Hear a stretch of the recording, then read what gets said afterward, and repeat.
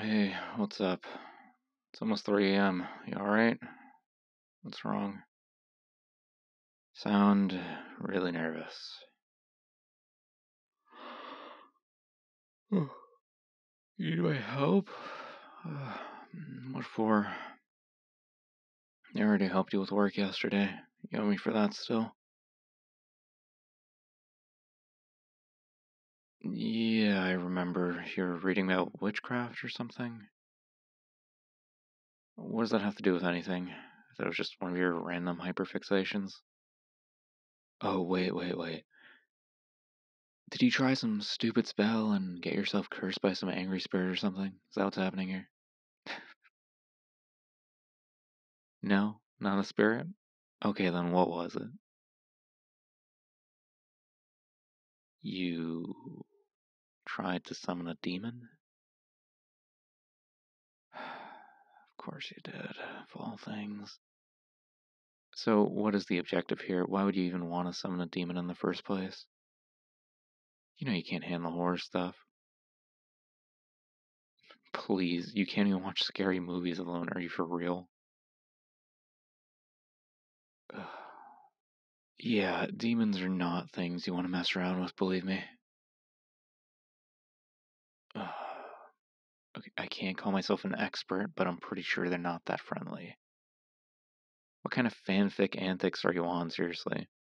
Think a demon is gonna randomly fall in love with you after you summon them? okay, that's enough internet for today. You need to stop trying out random rituals you find online. Those people have no idea what they're talking about. 90% of them are delusional phonies.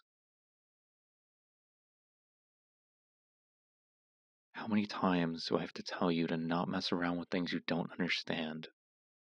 Seriously, get hurt.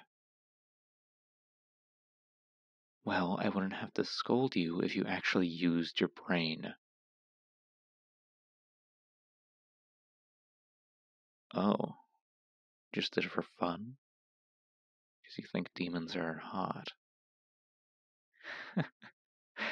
but here you are, calling me at 3 a.m. because you scared yourself. Yeah, all the single demons are lining up for that piece of ass, I bet. Fine, fine, I'll stop. You're just too fun to tease. What happened? Talk to me. Alright, I'm coming over. Calm down, you'll be fine. Trust me. Not gonna let anything happen to you. Oh, and stay away from any mirrors or reflective surfaces. And yes, that includes your phone. Just don't look at your reflection, okay? Wait until I get there. Mm-hmm. I'll be there before you can even blink. Open up, scaredy cat. Calvary's here. Happy to see me? Well, you should be. God, you're trembling. Hey. Hey. Look at me. I'm here. Nothing's gonna happen to you now. How did I get here so fast? Is that really what's important right now? I'm on demon hunter duty because my best friend has a death wish, apparently. You're making me work overtime. Now, won't you invite me inside? I'd really like to meet this little friend of yours. Hey, maybe we could even get them to play a round of Cards Against Humanity. Okay, okay, relax. Let's see what we're dealing with here. So your lamp broke, and the other lights kept flickering on and off. What else happened? Oh, nothing else? I mean, that's a good thing, isn't it? Huh? That's basic knowledge when it comes to otherworldly entities. Mirrors are portals, you know. When you look into them, you're basically begging whatever it is on the other side to come through and possess your dumb little self. Unlike you, I happen to pay attention to horror movies. well, that's to be a pain to clean up. Okay, that's enough. You should know better than to fuck around like that in front of me. Not an ounce of respect for your elders, huh? Should I send you back forcefully? Or will you be a good little imp and go back on your own? I just got rid of the little pest. Isn't that what you wanted? Oh, don't look at me like that. I'm not gonna hurt you, silly. If I truly wanted to hurt you, I wouldn't be here now, cleaning up your mess. What's with the panicked look, scaredy cat? The demon you asked for is here, not some puny imp, but a full fledged archdemon in the flesh. Oh, come on. Where's that confidence? Didn't you say you wanted a demon to fall in love with you? Do your worst. I can't wait for you to sweep me off my feet.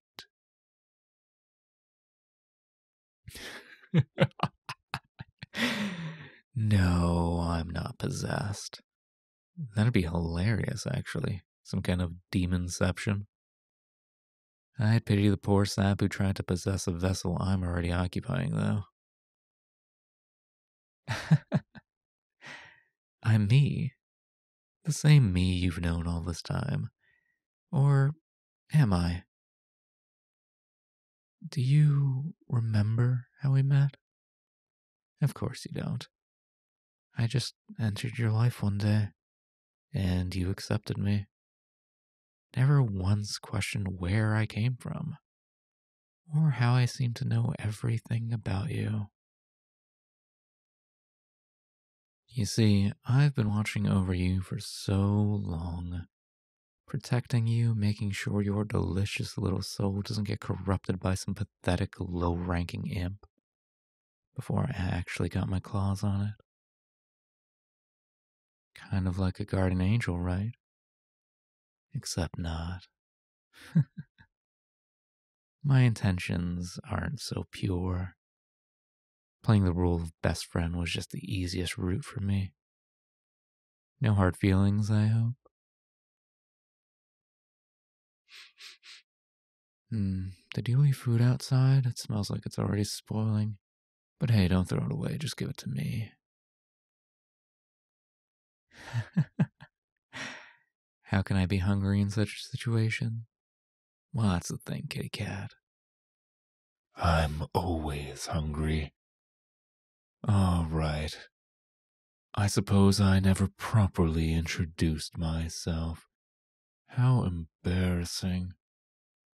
I can't tell you my real name because human brains aren't equipped to comprehend such knowledge. Wouldn't want to drive you mad right off the bat, kitty cat. But I will give you a hint, since you're so curious. Gluttony is my preferred domain and my preferred vice. There are seven of us archdemons, and I am the one who presides over the need to consume. Yes, the Lord of the Flies, Beelzebub, such silly names you humans have given me. Creative little things you are. Unfortunately, none of those are correct. Oh, it's funny how mortals disregard gluttony as a lesser sin, when in reality, it is present in every creature that exists. It doesn't matter if it's sentient or intelligent. To survive, you must feed. The primal urge that drives every living creature the need to eat, to devour until they are satisfied, and then some more, because it's never enough. How can they stop?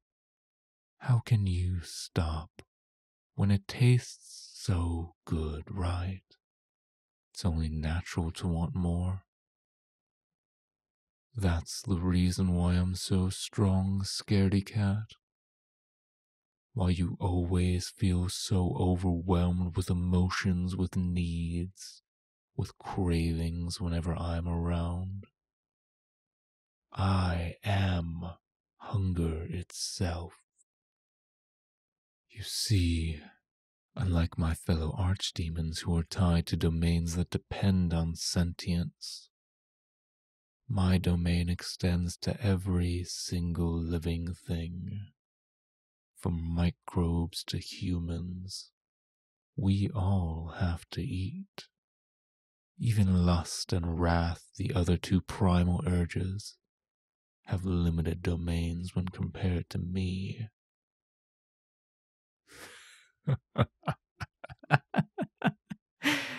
yes, that's all you need to know. Enough for that tiny brain of yours to comprehend that I am not to be fucked with. Oh, you are adorable. Clueless, but adorable. The only reason I let you get away with so much? Because I'm committed to the role, darling. Overprotective best friend? That's who you want me to be. What you see in me is purely a reflection of your deepest desires. You want someone to take care of you, to comfort you. It's what your soul craves. And oh, kitty cat, there's nothing I love more than feeding you. Watching your soul glow in contentment whenever I fulfill those emotional needs. Your energy, your emotions, they are mind numbingly delicious. You are a full course meal, and I cannot get enough of you. No other mortal has ever managed to satisfy my cravings. So, you should be proud of yourself. Correct me if I'm wrong, but that's not how you're supposed to look at your best friend. Is that hunger I see in your eyes? Maybe it's time for us to update the best friend label to something more fitting.